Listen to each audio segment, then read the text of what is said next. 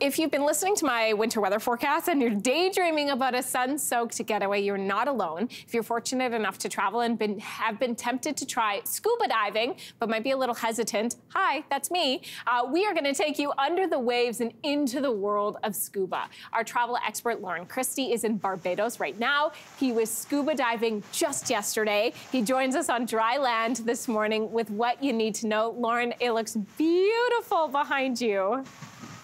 It is amazing. I'm just outside of Bridgetown, Barbados, and actually more specifically, I'm at the Crystal Cove by Elegant Hotels, which is one of Marriott's ever-growing uh, inclusive resort properties across the Caribbean and Mexico. So really excited to be here. I went out yesterday, as you said, with Westside Scuba Center. I had an amazing time.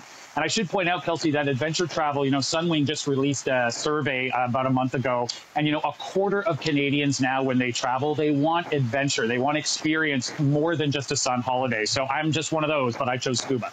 Okay, so scuba diving, I'm not gonna lie, it feels really intimidating to a beginner. It's something I've never done. I've done snorkeling, uh, I've gone swimming in the ocean, but I have not done scuba. So if you want to try, uh, where do you start? Because you, I, you need to be certified. Am I correct in thinking that?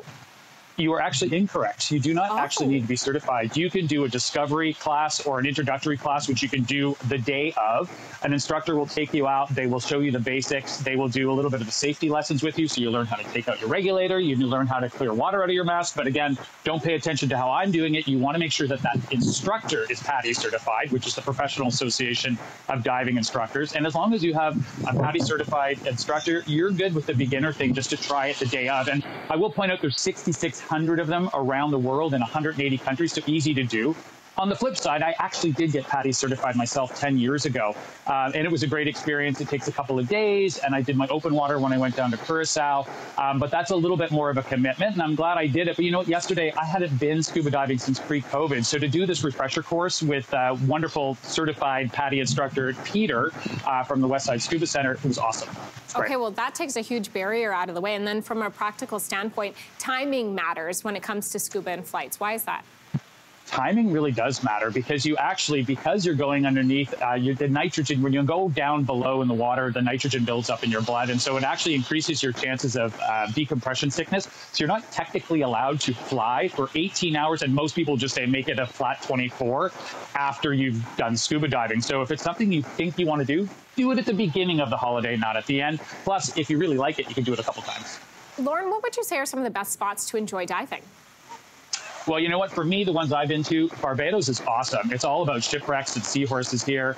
Uh, I've enjoyed St. Lucia, Curacao, but really what you want on the on those bucket list destinations, you're looking for great visibility, you're looking for warm water, lack of current, easy uh, above surface conditions, and the places that really, you know, everybody wants to go to, Fiji, soft coral capital of the world. There are over uh, four, over 42% of Fiji's of, of the world's coral species are in Fiji. There's my stat.